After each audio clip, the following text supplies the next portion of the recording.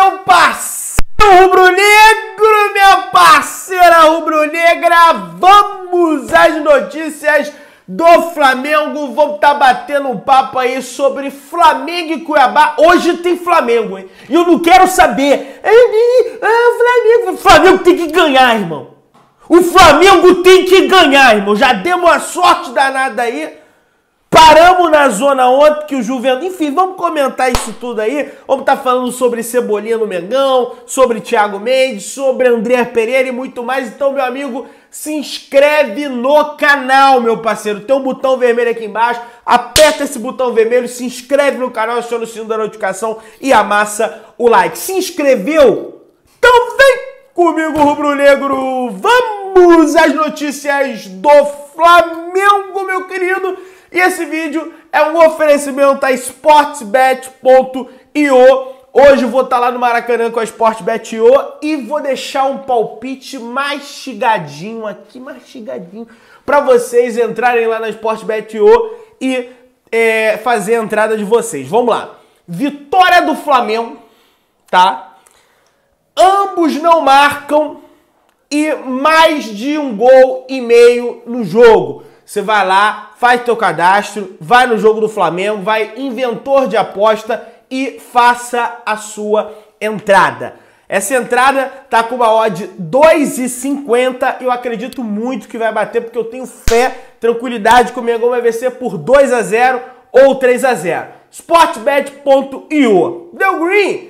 Meu querido, vamos lá, vamos às notícias do Flamengo de fato. Tá aqui Flamengo e Cuiabá, vamos estar tá comentando aí a provável escalação do Flamengo, vamos estar tá conversando sobre é, é, transmissão do jogo, tá? Ó, esse jogo vai ser transmitido pela, pelo Premier, tá? Não é um jogo que vai ter transmissão do, do da Rede Globo, até porque, ah, é quarta-feira, mas o jogo é 8h30, tá? Quando o jogo é 8h30, não tem transmissão da Rede Globo. Tá aqui, transmissão é Renata Silveira narra o jogo, tá? De repente até passa no Sport TV, você vê se tá passando no Sport TV, se não tiver, apenas no Premier. Renata Silveira narra o jogo com comentários de Lédio Carmona, Pedrinho e Sandro Merahit faz os comentários da Central do Amigo. Não é Central do Apito, não. É Central do Amigo tá? O Sandro Merahit vai fazer os devidos comentários. Escalação do Mengão, meu parceiro. Provável time do Flamengo hoje, de acordo com as informações que a gente vai recebendo, colhendo de sites como Globo Esporte, enfim, entre outros. Diego Alves no gol, na lateral direita, Mateuzinho. A, a zaga deve ser formada por Davi Luiz e Pablo Pedrão. Cadê o Rodrigo Caio? Já falei para vocês, Rodrigo Caio vai ser poupado para o confronto de domingo contra o Galo. Na quarta-feira tem outro jogo contra o Galo, vai enfrentar o Hulk, o cara é forte, então o Rodrigo Caio vai para porrada. Porrada que eu digo é o embate físico ali durante o jogo, então vai ser poupado de hoje contra o Cuiabá. Lateral esquerda, Ayrton Lucas, dupla de volantes Andrinho Pereira e João Gomes. Mais à frente, Jorjan de Arrascaeta centralizado. De um lado, Everton Ribeiro, do outro, Bruno Henrique. E à frente, Gabriel, o Gabigol, é o centroavante do Mengão para a partida de hoje contra a equipe do Cuiabá. Jogadores em fase de transição, Fabrício Bruno e Matheus França, não estão mais no departamento médico, já fazem trabalho no campo, no entanto estão em transição, tá? Para jogar. É, e o Marinho está suspenso porque levou o terceiro cartão amarelo diante da equipe do Internacional. Pendurado, se tomar o cartão, tá fora no próximo jogo. João Gomes, Lázaro, André Pereira e Mateuzinho. Esses três jogadores, se tomar cartão, tá de fora do próximo jogo. Vamos tá falando, ó, o Flamengo vai reencontrar o PP, tá? Que foi da base do Flamengo. O Flamengo vai reencontrar o João Lucas, que é um jogador que era lateral do Flamengo, foi contratado do Bangu pro Flamengo, não era da base do Flamengo.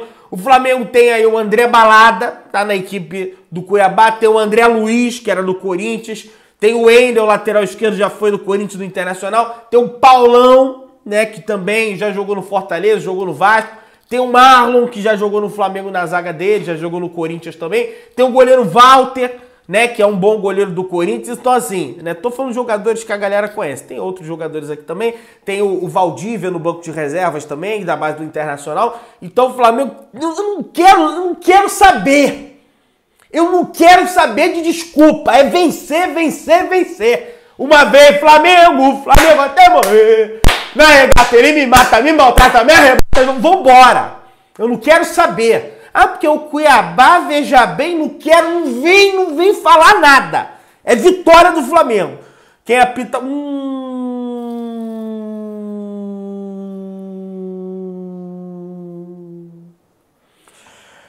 Quem apita o jogo hoje é o irmão do Wilton Pereira Sampaio o senhor Sávio Pereira Sampaio, que é um péssimo árbitro. Já deixo de antemão para vocês.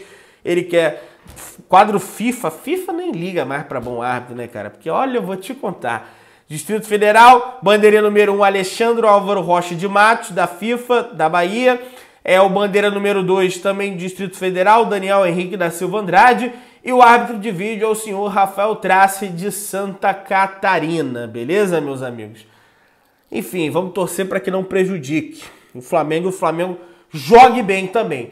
Meu querido, a gente vai prosseguir com o vídeo, mas antes se inscreve no canal, aperta o botão vermelho aí, dá essa moral para nós, aperta a massa, destrói, não quer nem saber se vai quebrar teu telefone, mas se inscreve, aciona o sino, massa o like. O negócio é o seguinte, gente, Bruno Henrique, hoje, o ídolo da nação rubro-negra, chega a 400 jogos na carreira. O jogador tem 79 gols e 45 assistências com o manto rubro-negro, com a camisa do Flamengo, tá? Ele que completa esses 400 jogos hoje. Espero que volte o bom futebol do Bruno Henrique, porque ele faz muita falta naquela boa fase pelo Flamengo.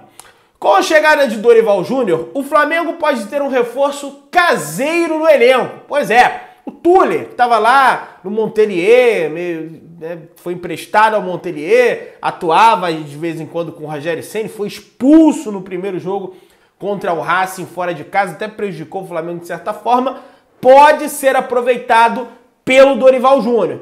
Eu não acho um jogador tão, tão bom assim, sabe? É, é ali um, vai pro combate, coisa e tal, mas não acho excepcional. O Flamengo agora tem, tem o Davi Luiz, tem o Pablo, tem, tem, tem o Fabrício Bruno voltando, enfim, o Dorival. Ele tenta a contratação do Tuller, quando o Tuller estava é, é, no Flamengo e o Dorival no Atlético Paranaense, acabou que não foi, coisa e tal. Pode ser que o Dorival, então, aproveite o Tuller no Flamengo. Beleza? Ó, parcial de ingressos vendidos para hoje, nação, para o confronto contra a equipe do Cuiabá. Foram vendidos cerca de 31.640 ingressos. Quem informou foi o Caemota por volta das 9h30 da manhã. Agora já deve estar em 32, 35. Acho que vai bater uns 40 mil, 45 mil no Maracanã hoje aí. 40 mil deve bater, tá? Contando gratuidade, enfim, as outras situações. Deve bater 40 mil, pelo menos, no mínimo, 40 mil pessoas rubro-negras, rubro-negros, né? no Maracanã. Rubro-negros e rubro-negras.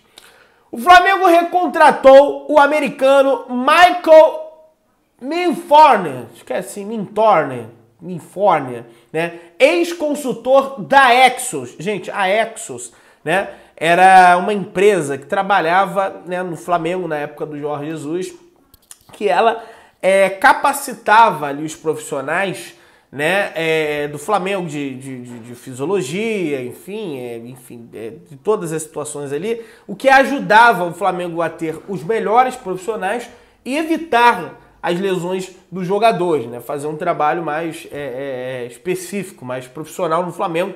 Esse ex-consultor da Exos, né, Exos que fala, foi recontratado pelo Flamengo e além dele o fisiologista Tadashi Hara, né, ex-Atlético Paranaense, também chega no Flamengo.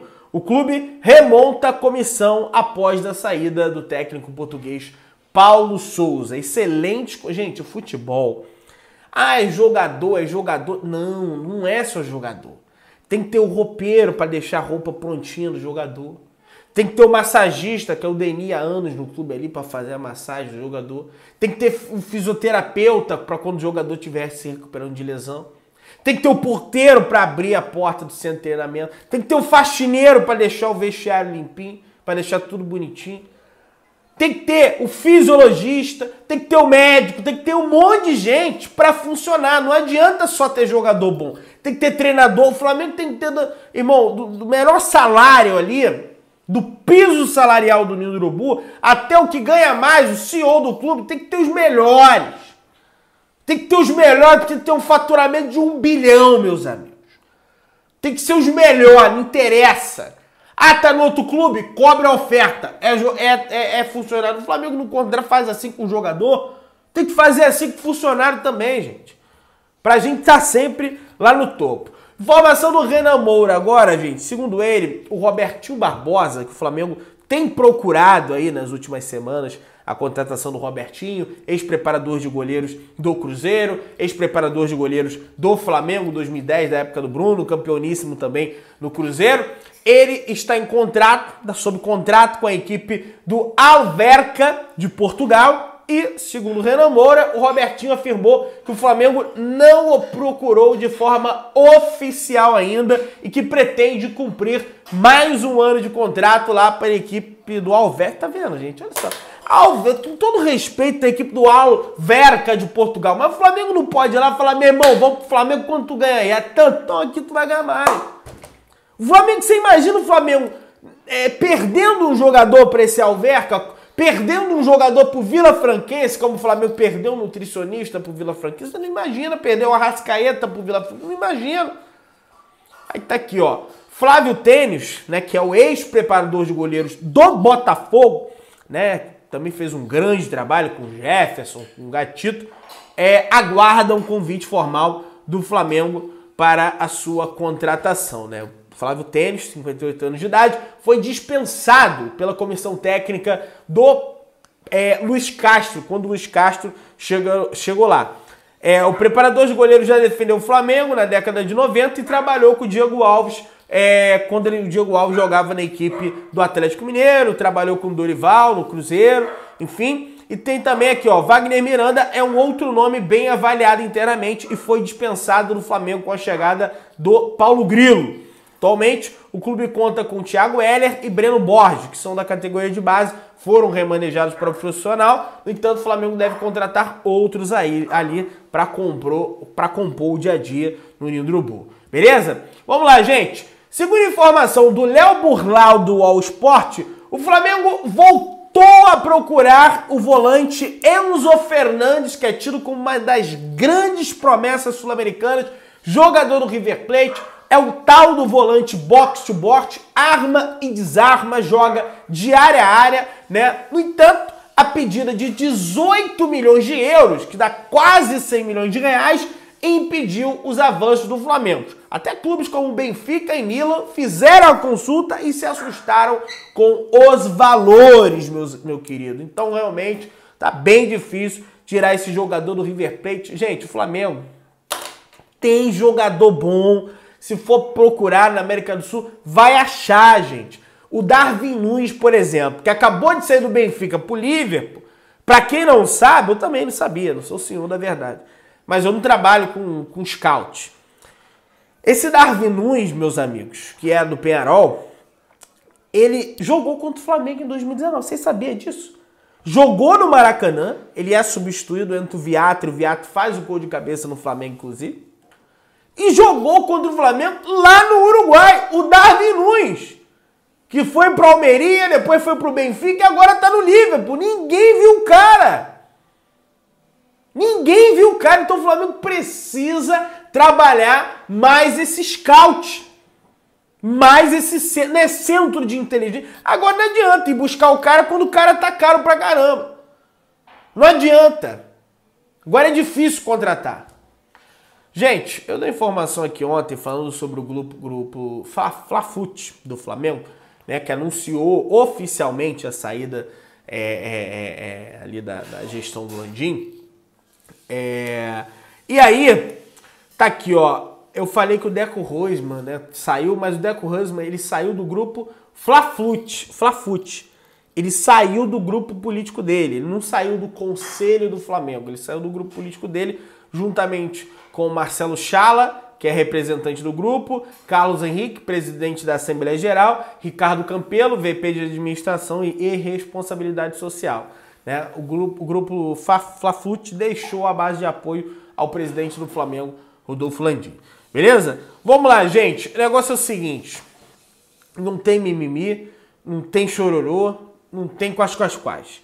A decisão está tomada segundo o Vene Casagrande. Andrés Pereira não será comprado pelo Flamengo e retornará ao Manchester United em julho.